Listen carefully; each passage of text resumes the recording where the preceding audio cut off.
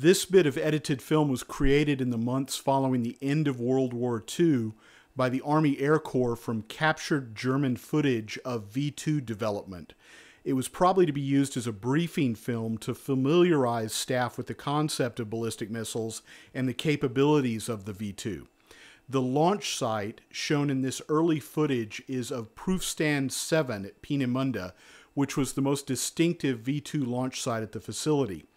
The stadium or arena appearance of the test stand caught the eye of British intelligence staff even before the threat of the V 2 was fully understood.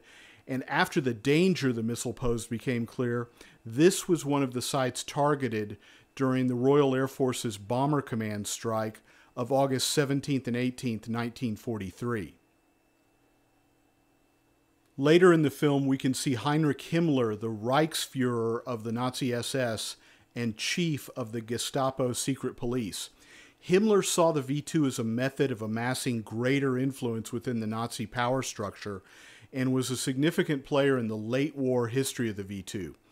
Himmler visited Peenemünde on at least two occasions, and this footage probably shows a visit to the facility in June 1943 when two unsuccessful V 2 launch attempts were made from proofstand 7.